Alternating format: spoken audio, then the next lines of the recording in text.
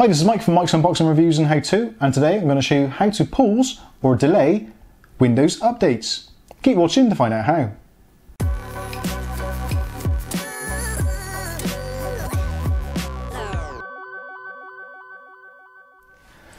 Okay, so we've all been there before. Windows Update has come along and you've either gone to close down your PC and the Windows Update has started, or you've had the Creators Update, for instance, and you've lost a ton of files. Really, really inconvenient. Or even maybe you're doing a screen capture and all of a sudden the pop up in the window comes up saying, We need to restart your computer. So annoying. Surely there must be an easier way. Well, there is, and I'm going to show you how to delay your updates. So let's go to the PC and I'll show you exactly how. Okay, so here we are in front of the computer, so let's now get right into it. So the first thing to do is to click on the start bar, and then from the start bar, click on the settings cog. From the settings cog, in your Windows settings section, choose update and security.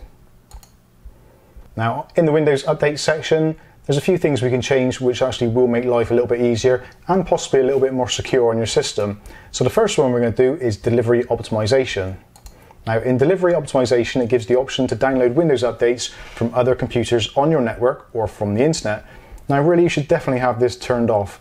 If for any reason yours is like this with the section on, at the very minimum make sure it says PCs on my local network.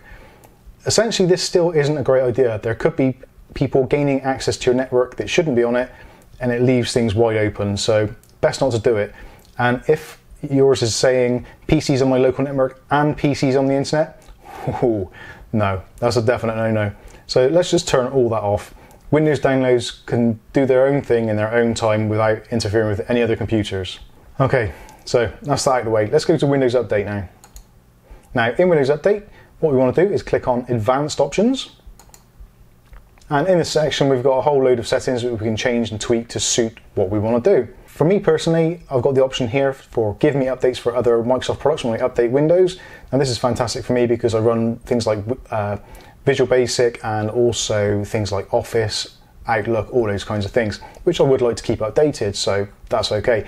Obviously, if you don't want to keep those updated, then you can just change that checkbox to off. Now, update notifications. Now, this one can be a pain at the moment because I'm streaming this I could get an update pop up at any time. So let's turn that off straight away. So now we won't get any notifications to say that the PC needs to restart. Now this is the, another section which people aren't always aware of, pause updates. So in pausing updates, we've got options to temporarily pause updates from being installed on this device for up to 35 days. So this is actually pretty handy if you've got some mission critical work and you're in a, some business environment or something like that, and you just don't want anything to go wrong with your PC for at least 35 days, then you can turn that on. Now, updates will be paused now for 35 days from today's date. Now, that's okay for a one time deal, but sometimes you want to make things a little bit different.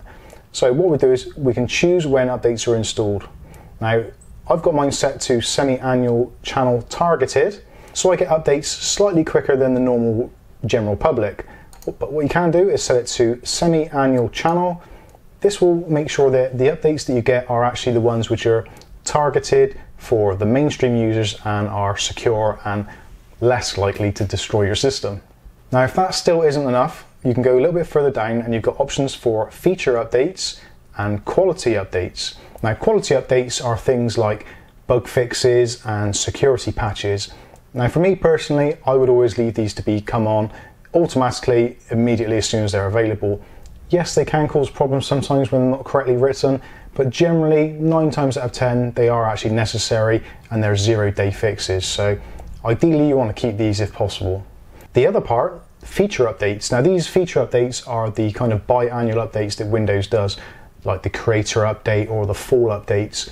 These are the ones that generally tend to cause people more problems than anything else.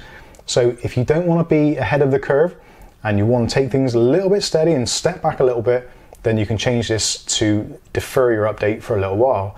Now you can do anything between maybe a week if you feel you're happy with a week, so seven days, or if you're really, really super cautious, you can scroll all the way down to the bottom and you can choose for 365 days.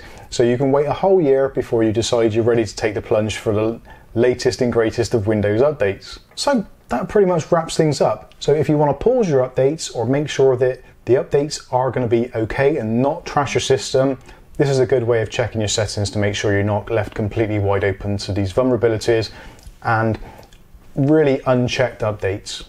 So there we go. There's a look at Windows updates and how to pause or defer some of the updates. Hopefully it's been useful to you. If it has, give the video a thumbs up. If you've got any questions or comments, stick them in the section below. But in the meantime, I've been Mike. This is Mike's Unboxing Reviews and How To, and we'll see you in the very next video. Thanks for watching.